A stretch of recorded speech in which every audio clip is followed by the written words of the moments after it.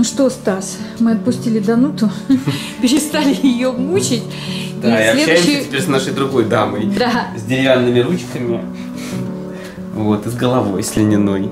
Вот, и перед нами платье, которое называется Герда, и посвящено сказке «Снежная королева». И на ней изображены вот те самые вороны, которые встречали э, Герду перед королевским дворцом.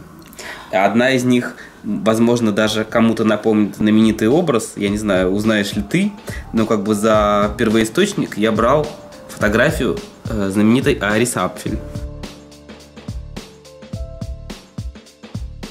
А, точно, В ее больших точно. круглых очках. Мне кажется, потому что она... Но она мне напоминает вот эту самую ворону Точно, точно, точно, точно, точно. Айрис Апфель, ее очки знаменитые. Да. Слушай, ну это какая-то просто уникальная техника. Это, это, это все ручная вышивка. Это все ручная вышивка шелковой ниткой. А как вы делаете? Ты разрабатываешь эскиз, А, да? Ну да, то есть сначала просто первоначально рисуется, ну, рисунок, собственно говоря, карандашами там или красками, это уже от настроения зависит.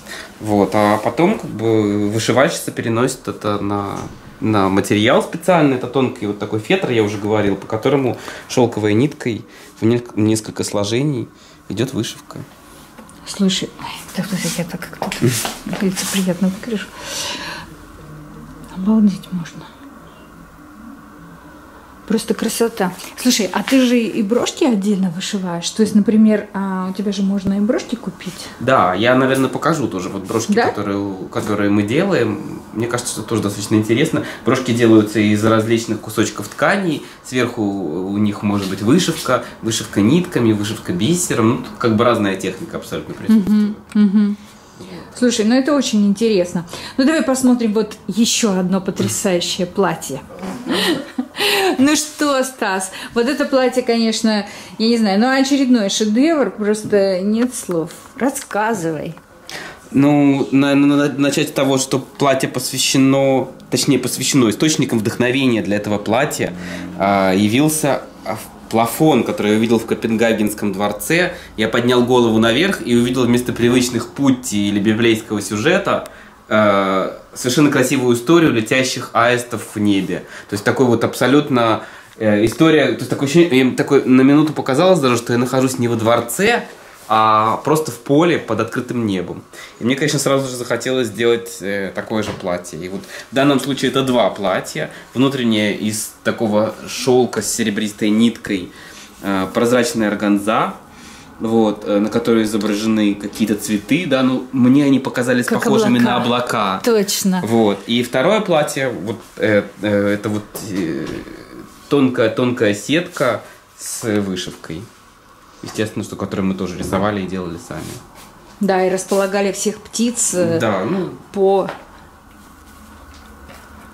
Слушай, ну это обалденная идея еще и тем, что это платье не просто платье, а брюки А превращаются... на самом деле, а туника такая, платье-туника, которое можно, в принципе, носить и не только на платье, можно Да. носить с брюками, и, в общем-то, на любой размер. Потому А, что я- а я представила, например, а, какие-нибудь даже джинсы, Конечно, да, да, и да, да, с чем-нибудь вот таким. Джинсы, майка, топ, там все что угодно, просто чехол другой, как бы. и- Да, люб- любой чехол, ну, вообще гениальная идея.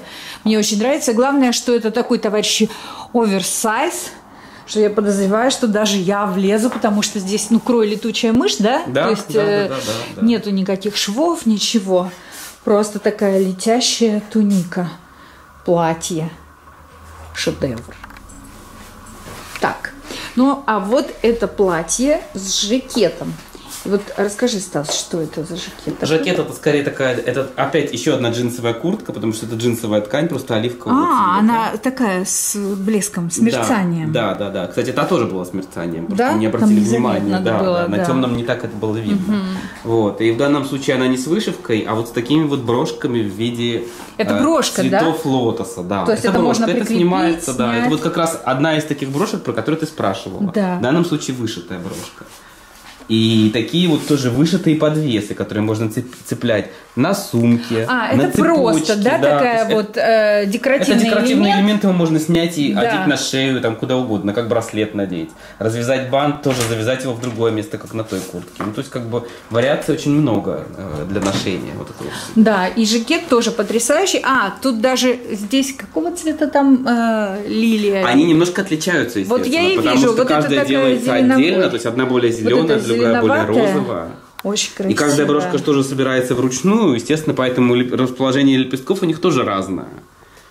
Вот, поэтому они не повторяются. Очень-очень красиво. И тут же можно этих брошек, вот всех твоих даже, всем, ну, хотел сказать листопадом, но вот... э, Конечно, да. Можно брошки, можно брошки соединять, например, на брошки подвешивать вот этих вот на карабинах. Видите, это все снимается. А, это все съемные такие. Вот и вот такие вот штучки. Там хочешь, щас. можно носить это вот так, например.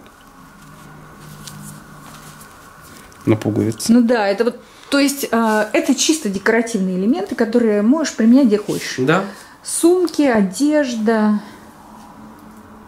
Ну, очень, очень, очень все эффектно.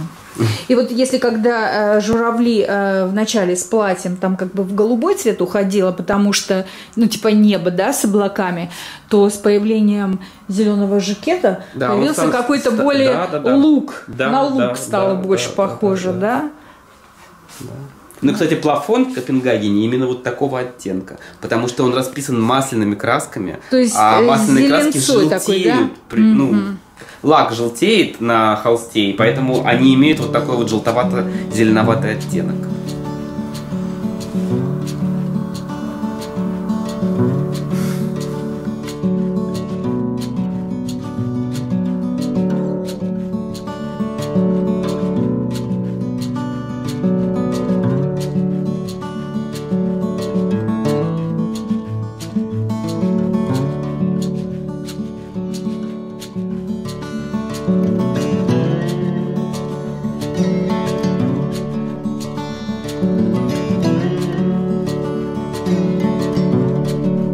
Привет!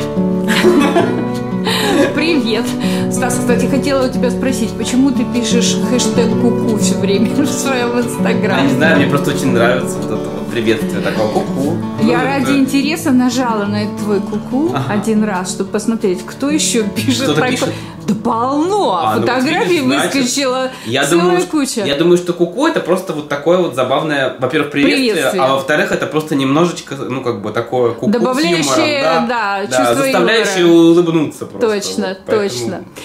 Но сейчас посмотрим такой, ну я не знаю, в каком это стиле, в английском? Ну, это костюм так и называется, английский костюм.